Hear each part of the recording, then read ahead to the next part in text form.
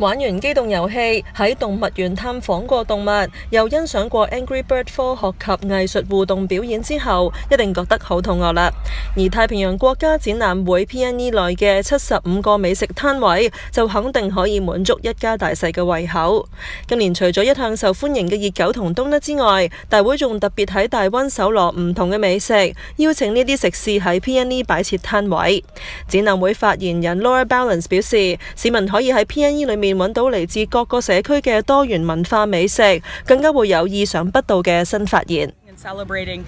And the Peony was the first fair in North America to really begin to showcase all the ethnic diversity, the fine cuisine from around the world. It's something that in the 60s and 70s, you went to a fair, you know, in other parts of North America and it was hot dogs, hamburgers, and candy floss.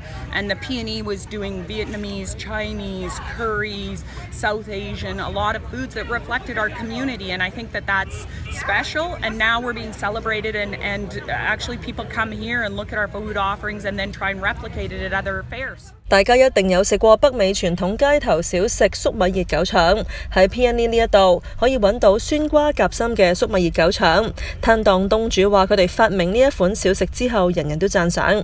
不過如果講到北美洲嘅傳統食物，就一定唔可以唔提小朋友最喜愛嘅 macaroni and cheese。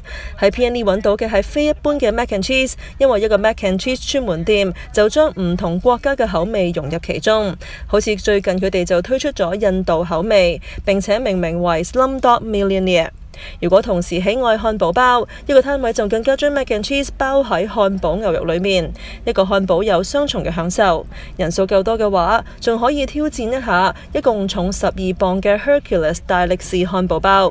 廚師話單係牛肉就係十磅，仲要花一個鐘頭嚟烹調。